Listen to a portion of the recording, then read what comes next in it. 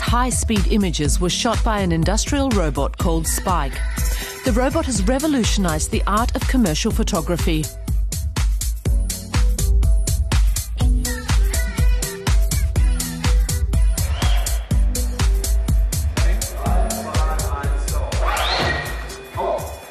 Everyone has always wanted to show high speed images in motion, which was theoretically possible, but it couldn't be done with analog photography in the past.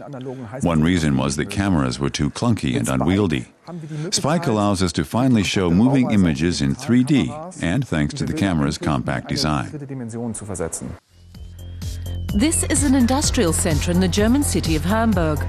It's where ad production agency The Marmalade keeps its robots. Spike weighs 550 kilos. You'll also find him in car plants, but here, his arm isn't used for welding. Instead, it holds a camera. Spike's software is maybe the most special thing about him. The computer program was designed specially by the Marmalade.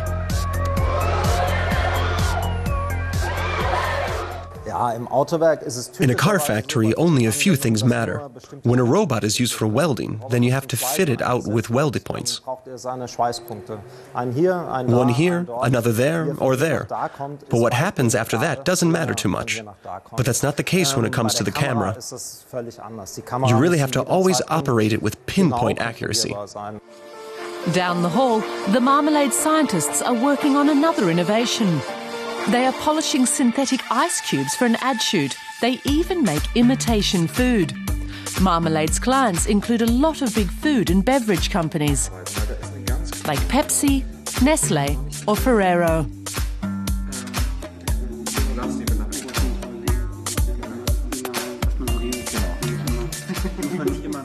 The lab is where we make all the things that aren't in season, and we also make whatever can't withstand the hot film lights.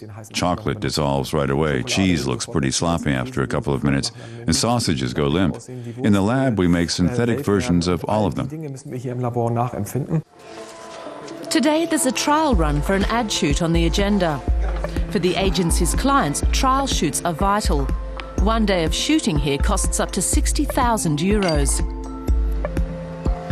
A hydraulic pump has been set up in the middle of a basin filled with food dye. It doesn't look anything like what you'll see on TV later on.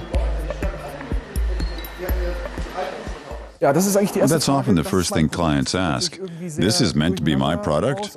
Because it looks so abstract and hard to see among all the gadgets and objects. But then they look through the viewfinder and see a nice picture.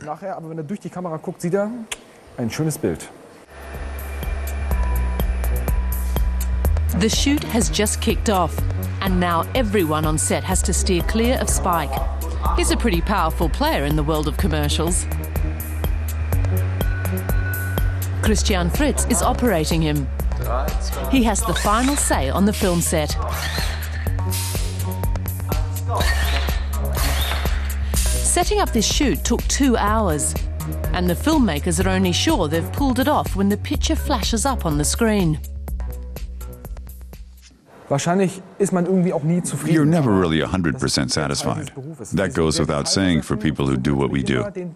We're obsessed with details, with capturing that perfect, impossible moment, which never really happens. But people like the result anyway. And now clients from around the world are lining up to try out the Marmalade's latest invention. But the company isn't resting on its laurels. Day in, day out, the team here tests new gadgets and gizmos for the next generation of advertising.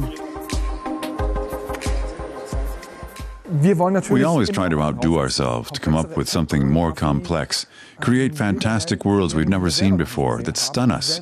That's what's so fascinating about Spike. It's a flexible tool that adds a new dimension to high speed photography.